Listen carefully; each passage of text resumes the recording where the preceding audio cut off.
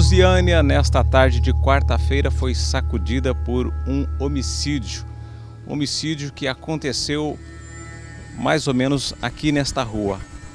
A história é a seguinte: ela era a parceira dele há algum tempo, mas segundo algumas informações já havia recebendo algumas ameaças e hoje essa ameaça se concretizou.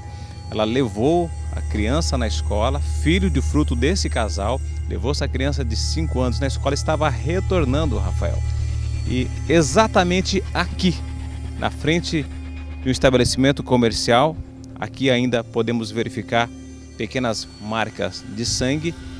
Ele chegou na vítima e disparou, segundo as informações, dois tiros no tórax, vindo infelizmente, a cometer essa tragédia, onde Vânia Araújo foi vítima, sendo levada rapidamente aqui para o, o pronto-socorro aqui de Lusiânia, mas chegando ali, infelizmente, foi constatado o óbito dessa jovem senhora de apenas 25 anos.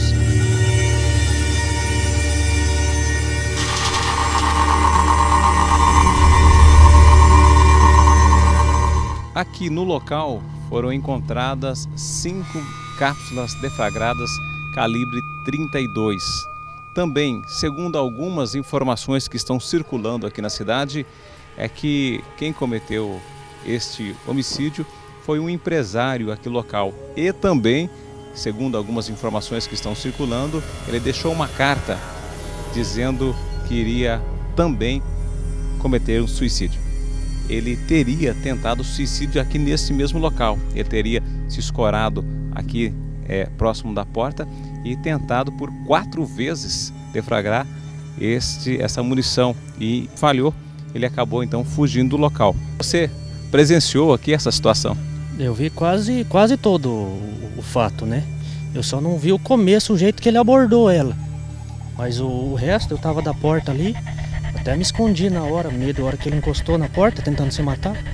Na hora que ele abordou ela aqui, ele descarregou, cinco capas só estava defragada, já de cinco capas tinha disparado. Daí ele, quando ele encostou na porta tentando se matar, daí ele tentou, deu umas três, quatro puxadas, falhou o revólver, daí ele virou pro lado dela e, e deu mais umas três, quatro puxadas, aí funcionou mais uma. Daí ele saiu correndo para baixo.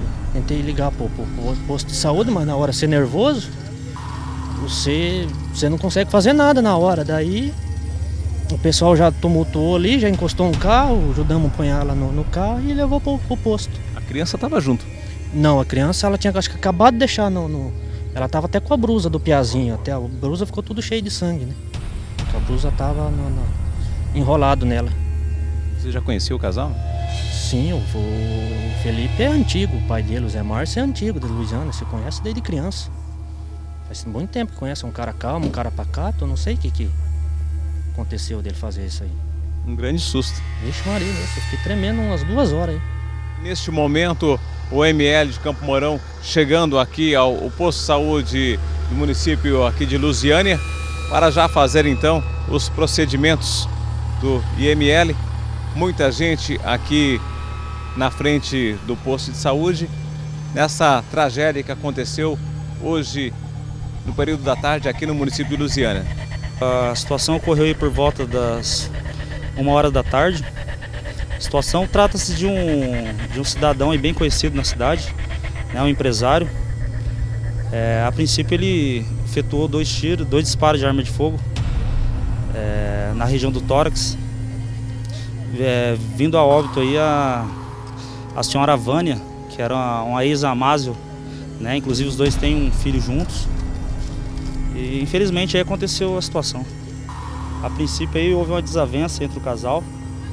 É, já vem ocorrendo há algum tempo. E é uma situação bem complicada, né? Envolve toda a família aí, a cidade de Louisiana, a cidade pequena, onde todos conhecem todos, né?